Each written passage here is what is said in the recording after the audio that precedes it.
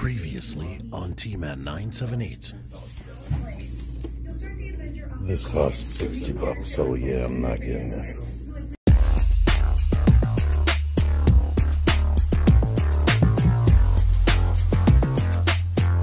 T-Man 978. Chill Review. This is why everybody calls me the bot guy, even though I review every single thing. But I'm going to review him first because I'm most interested in him. Hello, everyone. T-Man 978. Right now, I am reviewing Transformers Earthrise Runamuck. There's his artwork.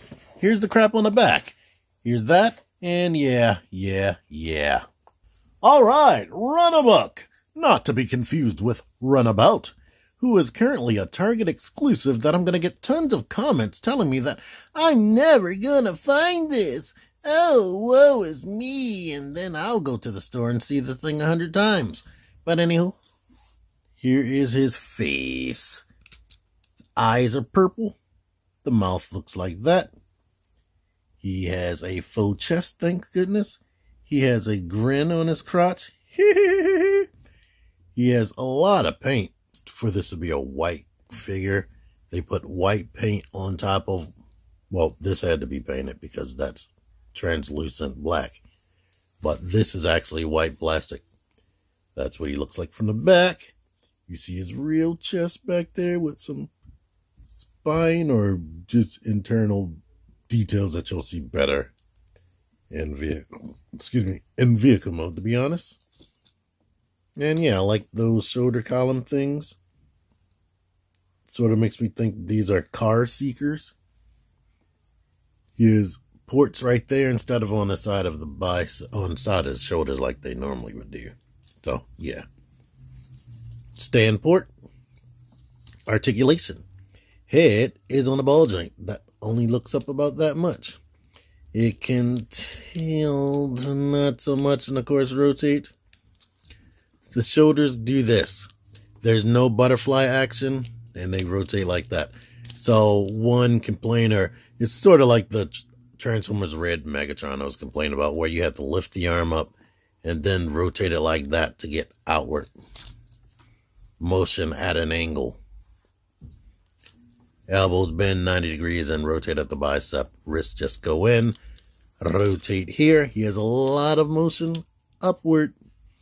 Not so much back. It's like perfectly molded so it can stop right there. Go outward.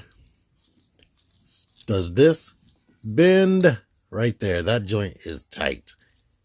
And you can separate the connection to give them 90 degrees, but then the knees look like that. Ankle pivot. Foot goes all the way back due to transformation.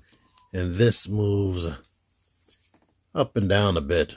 I believe it's supposed to be down for robot mode. I can't even make that move. there we go. But there you are so he's posable. And here is what the gun is looking like. I hate reviewing black and white figures. I can never choose which background to use. And it has a port back there. Here are three deluxe classes, random from Earthrise and a Voyager class. There you are. He's a big, tall deluxe class. Transformation, kind of easy. Take that out the hand flip the hands into the holes right there. Go ahead and put the feet together. The tabs are very stiff. You'll probably have to adjust them. We might as well rotate the whole body like that. Now, bend the knees into here. Like, it's going to take some effort to get that down. And go ahead and shut this. And it's going to take effort as you saw earlier for me for you to push that up into there. But basically get that in there very tightly.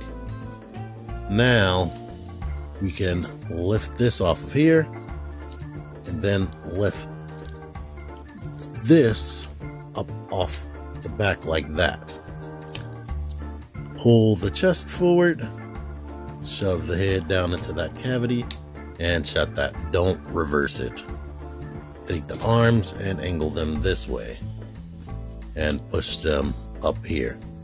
Now there are pegs on the, the shin right there that goes up into his cuffs of his hand.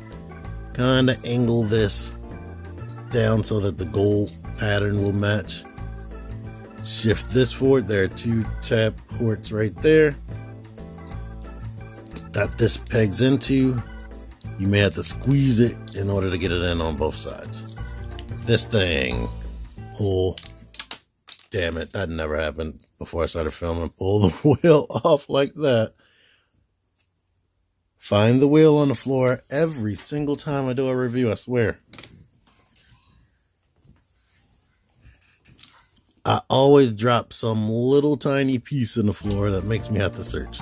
Anywho, rotate. Try to make sure this is staying there. But rotate this down and that'll shift into place.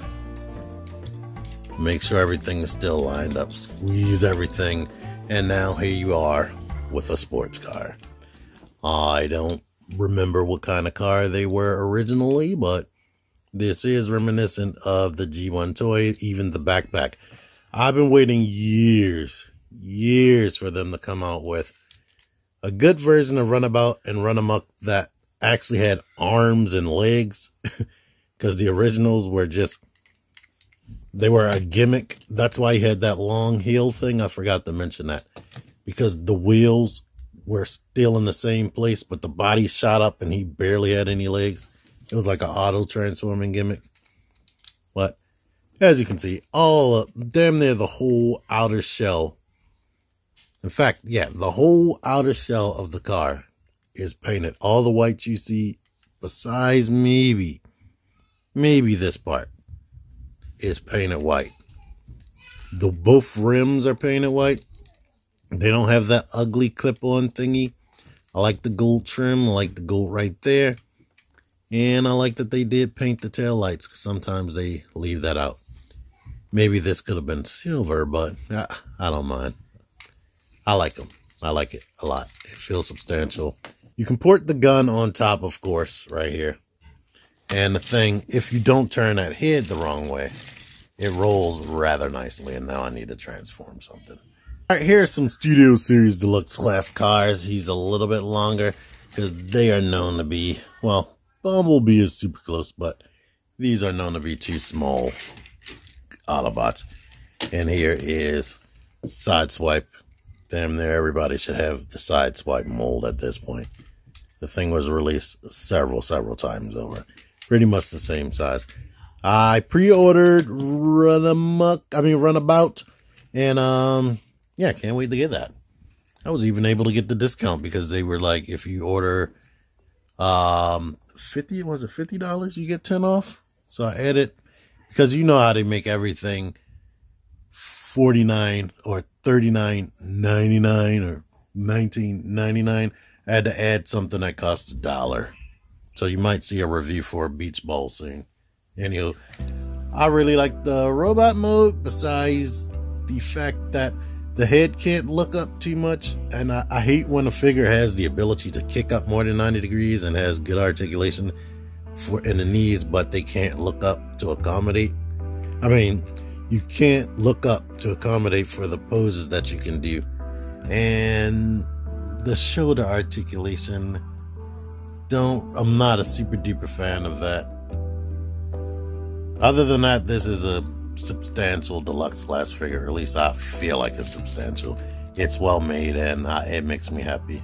It doesn't feel cheap or anything. And they painted it a lot. So, anywho, the car is great too. You see how nice it rolls. Wee, and it looks good. So, thank y'all for watching this video. Until next time, T-Man978 out of here. Hey, T-Man 978, T-Man 978.